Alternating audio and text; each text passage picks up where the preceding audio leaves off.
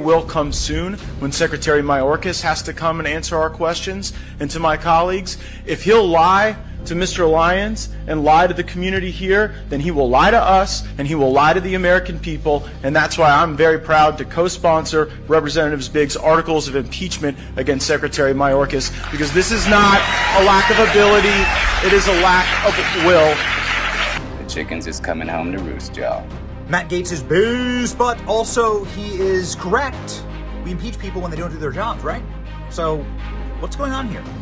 This guy is opening our border and making our country less safe.